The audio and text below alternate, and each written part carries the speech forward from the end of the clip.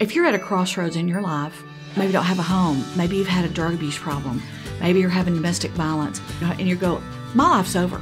I don't have anything. That's the way that I felt. Every week, we hit the road to tell the stories of the people, places, and events that make Hunt County great. These are our friends and our neighbors telling their own stories in their own words. Stories worth knowing and sharing. These are the stories that make us proud to call this place home. And around every corner, we find something else that makes us want to celebrate Hunt County.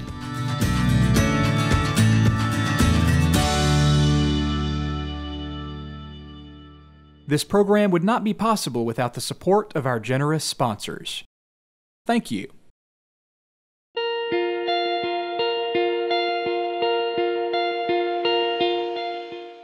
So I grew up um, in church. My parents took me to church and um, grew up with that Christian faith and had that faith inside of me.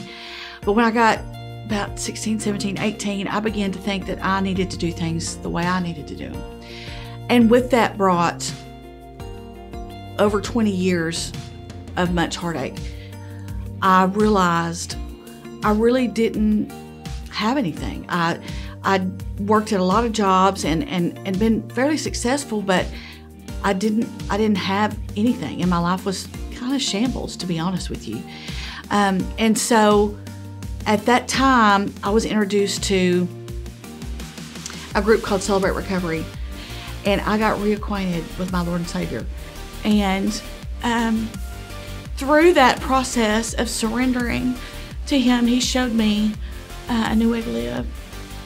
Sexual abuse has affected me personally and domestic violence. So, with that, um, I began teaching others that, and I walked a lot of women through their recoveries, and that was that's one of my pride and joys. And then at 40 years old, um, I went back, I went to college and got my degree, graduated when I was 46, and, uh, and that's how I ended up in the job I am today. If you're at a crossroads in your life where you um, maybe don't have a home, maybe you've had a drug abuse problem, maybe you're having domestic violence, maybe you don't have a place to live, you don't, and you go, my life's over. I don't have anything. That's the way that I felt. And I took little steps I got to what, what I say and what, what we say in, in a spiritual sense is I got to the end of myself. Don't be afraid to reach out to organizations or people and say, I need a little help. A lot of times we're ashamed to do that. I was. I didn't know how to help that person, I didn't know how to help me. I never thought I'd get a bachelor's degree. I never thought I'd be in a happy marriage. I never thought I'd have these wonderful children that have brought me grandchildren.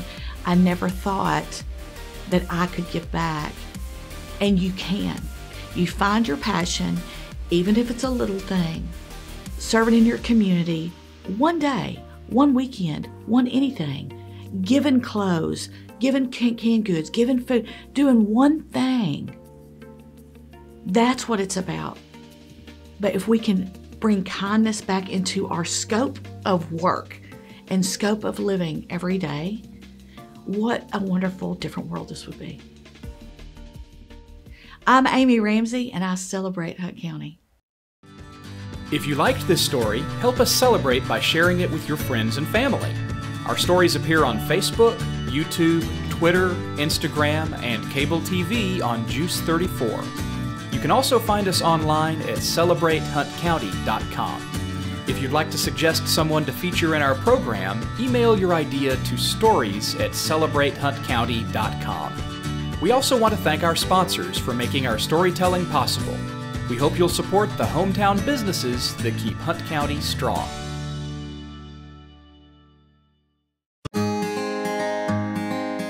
Family is very important to us, and that's why we wanted to bring family to our business.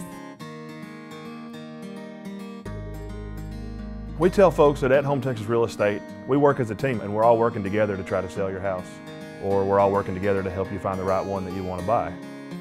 With At Home Texas Real Estate, it's our family helping your family.